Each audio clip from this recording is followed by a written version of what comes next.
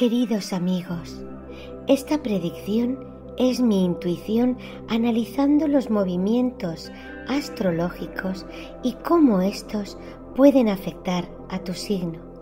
Pero tú siempre has de seguir tu propia intuición. Géminis, disfruta del comienzo del año durante los tres primeros meses, ya que después es posible que en lo social y tu profesión Saturno te dé algo de guerra. Pero Júpiter te ayuda hasta mayo y verás beneficios que no esperabas. Será un año lento, pero más seguro. Confía en tu experiencia. En tu salud te encontrarás fuerte y saldrás recuperado de cansancios anteriores.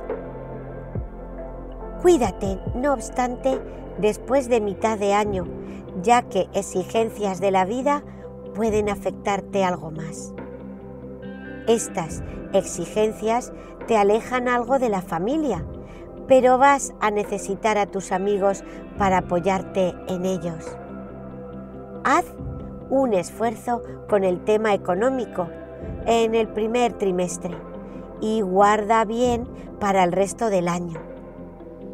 Busca estrategias en abril con la ayuda de Marte y Saturno para esa recuperación que necesitas.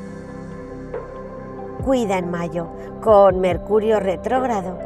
Revisa contratos y documentos y míralos con lupa.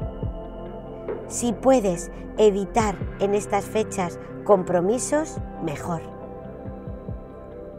Si tienes mil ojos y te organizas bien, puede ser un buen año para recuperarte en todos los aspectos. No te olvides de crecer en ti y disfrutar de las pequeñas cosas. Si te ha gustado la predicción, suscríbete al canal y dale a la campana para recibir mis notificaciones. Me agradará leer tus comentarios.